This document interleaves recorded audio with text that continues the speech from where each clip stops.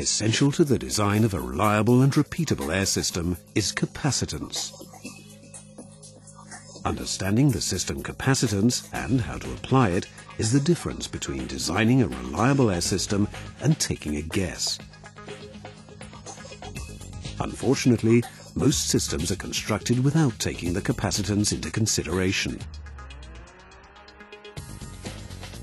What is capacitance? Pressure or volume?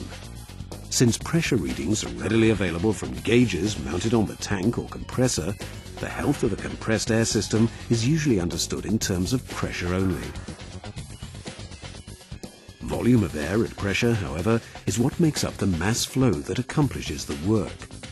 Capacitance, then, is the unit of measure which accounts for a change in volume relative to a change in pressure. Simply put, the units of volume with respect to pressure, such as cubic meters over bar.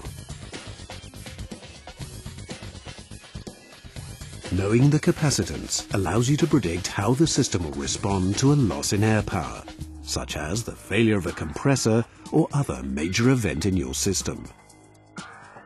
Calculating how quickly compressor controls need to react and whether system controls will function efficiently are benefits of calculating capacitance. Assessing capacitance allows one to make a fact-based decision on an acceptable solution. Whether the solution is to increase air storage capacity, make a change to system controls, or add an IntelliFlow valve, determining capacitance is the first step to stabilizing pressure and maintaining system reliability. Since capacitance is rarely considered when a system is designed, there is great value in calculating your current capacitance level and more importantly what level of capacitance is required to optimize your system. This is easily done by assessing the start and load permissive times for each compressor, controller limitations, and system controller permissive where applicable.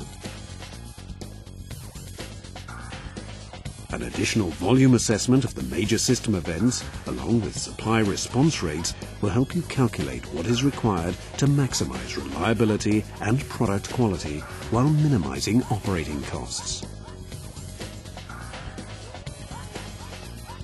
Assistance with this money-saving concept is available through your Ingersoll Rand Air System Engineer.